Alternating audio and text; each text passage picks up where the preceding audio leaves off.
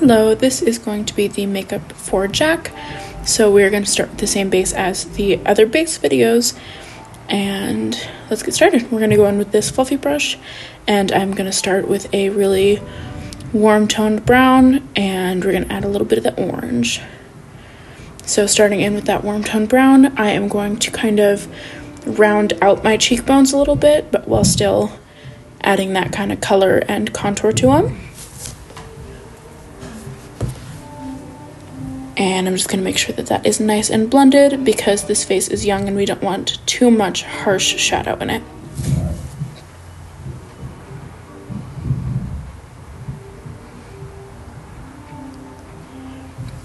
And unlike some of the other ones, we are going in a pretty round shape with this one because we want to kind of give that youthful look to the face and keep it in there.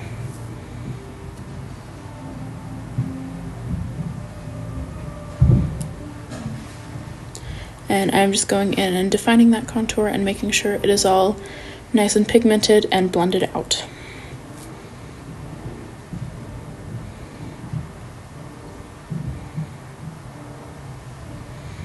Now I'm going in with the Beauty Blender just to make sure that it is nice and soft like I said earlier. I don't want this to be too harsh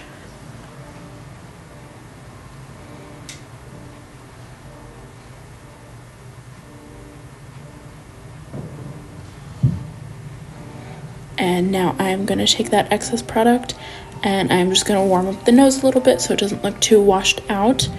And we're going to square it out a little bit just like we've done before.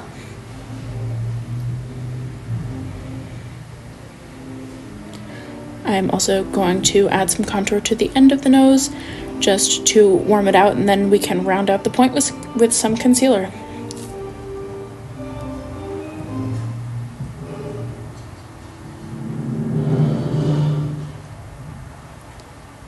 So now taking that light concealer, I'm going to go in and dot on the point of the nose so that I can blend that out and get that nice round point.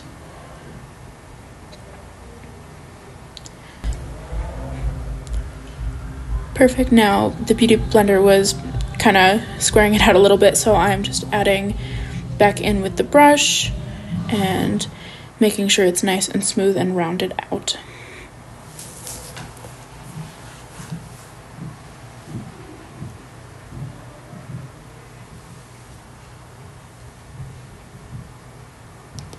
And now once again, I was just going back in and making sure that all of that contour is nice and blended and nice and soft.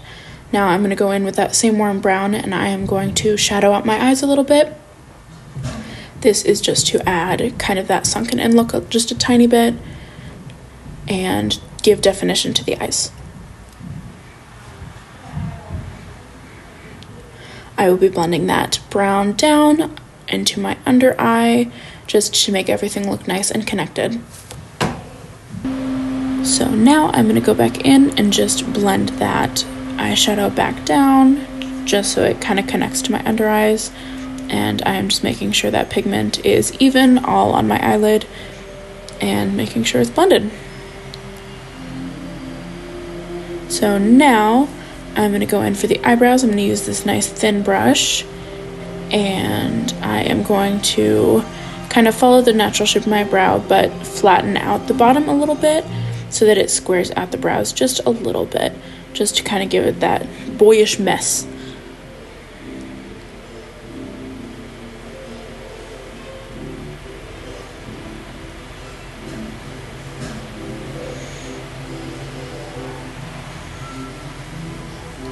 As you can see, I'm not being super precise with the shape here. I want these to be a little fluffy, a little messy. but I am just bringing them around to kind of even out the shape between both eyebrows.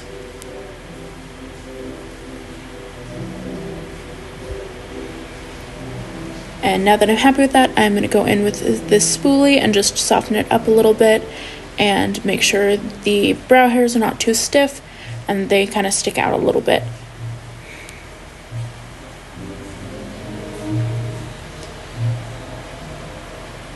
And now taking that fluffy brush again, I'm going to go in and put this kind of orangey tone blush on the round points of my cheek before blending it up.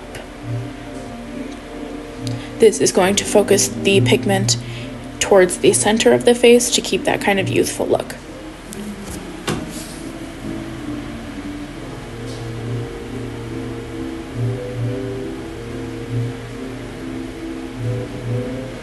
And like I said, just softening it out towards the upper part of my cheekbone, but really focusing that roundness right on the apples of my cheeks. And I'm also going to add a little bit to my chin. And I am also going to brush a little excess product off on my nose just to kind of bring it all together. I will add a little bit more blush later, but a lot of the times I'll finish the entire look and then add the last little bit. So now we're going to take this really thin brush again and I am just going to go in and line the edge of the eyes just so it looks nice and defined. I'll go on top and then I'll do a little bit underneath. I also want to extend the actual lid line down a little bit just to give the eyes just a slightly downturned look. This makes them look a little rounder.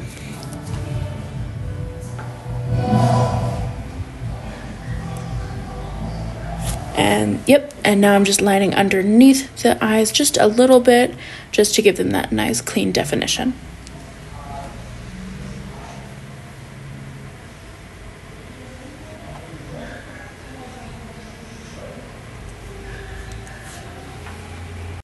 And now I am just going to be taking a little bit of this orangish pinky pigment and I'm gonna tap a little bit onto my lips. I don't want like full lipstick, but I want enough that the lips don't look like dried out or anything like that. Just enough to add a little bit of color. And then I'm just buffing them out with my fingers so it looks nice and natural. So now we are going to go in and do the freckles. You can do this with a pointed brush or a toothpick. I usually like to prefer a brush because it makes them bigger, but my brushes are all at the Panida, so I am doing it with a toothpick. So this part I sped up just a little bit because when you're doing it with this small of an applicator, it takes a little while. So I'm just really dotting them all over the place. I just want them to be really covering that uh, center part of the face. And I just, I want them to be all over the place. I want it to look very, very freckled.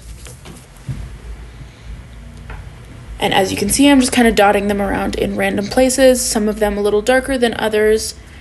And now I'm going to take this kind of fluffier brush and I'm going to pack on some of this cool toned brown and a little bit of the darker brown underneath it to make Jack's little dirt spots that we will wipe off in Act 2. Um, so we're just kind of blending that out on my chin and getting it really like fluffy towards the outside because we don't want it to look clean. Um, and then I'm doing a little bit on the forehead as well. And now that that looks like the shape that I want, I'm going to go in with a darker pigment and just add a couple little splotches to give a little variety to the color of it itself. This will make it look a little less like it is eyeshadow on the face. And then I'm just going to get any excess product off, and blend it out a little bit, and then I am just smudging it with my thumb because it gives it a more naturally smudged look. And then I'm just, you know, smudging any excess product on my thumb kind of down. I don't want this to look super clean, obviously. I want it to look very messy and very, you know, smudged around. So now that we have that, I'm going to go in and add that blush to my nose because after I was done with it, I realized I wanted a lot more than I put on there originally. I want Jack's nose to be pretty blushed. And again, this is just going to draw that attention towards the center of the face. So now that we are all done, that is Jack. Thank you.